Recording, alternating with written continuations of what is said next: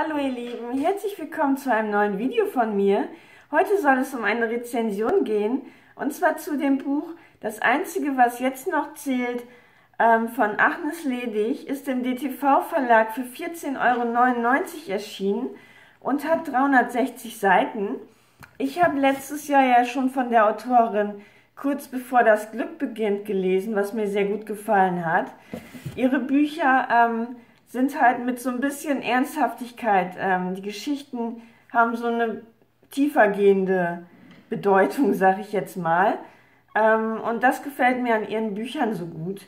Ähm, ich habe hier auch ge gestern, glaube ich, gelesen, dass ähm, sie zu schreiben begonnen hat, als ihr kleiner Sohn an Leukämie erkrankte.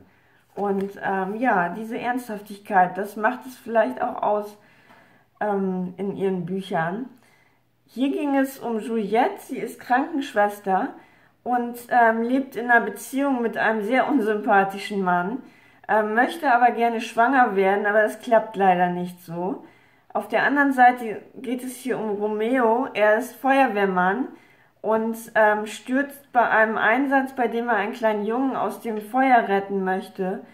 Ähm, ich meine aus dem achten Stock eines ähm, ja, Gebäudes. Und ähm, so kreuzen sich die Wege der beiden. Zu seinem Leben ist zu sagen, dass er sich aufopferungsvoll um seine ähm, minderjährige Schwester kümmert. Ich glaube, sie ist zum Zeitpunkt des Unfalls 14 Jahre alt. Und ähm, ja, irgendwann kreuzen sich dann halt im Krankenhaus die Wege von Juliette und Romeo. Und äh, mehr kann ich da jetzt gar nicht zu erzählen, weil dann würde ich zu viel verraten.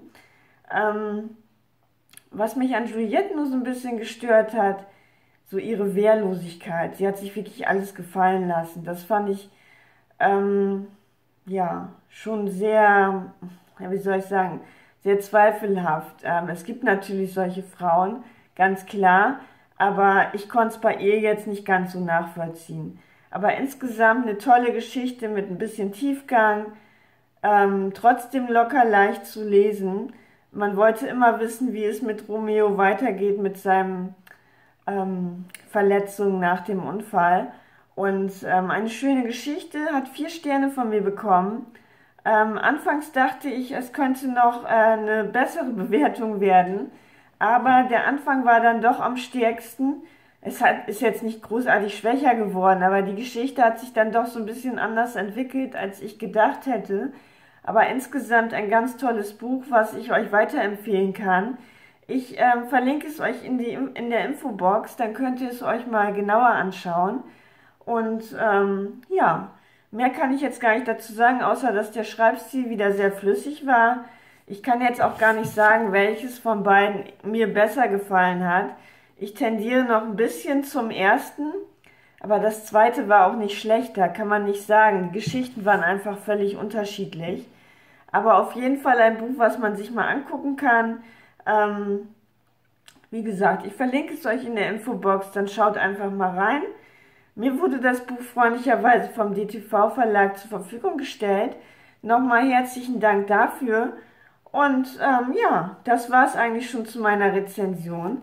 Ich hoffe, ähm, ich konnte euch weiterhelfen. Würde mich interessieren, ob ihr das Buch schon kennt oder gelesen habt oder noch lesen möchtet. Und würde sagen, wir sehen uns dann im nächsten Video. Tschüss!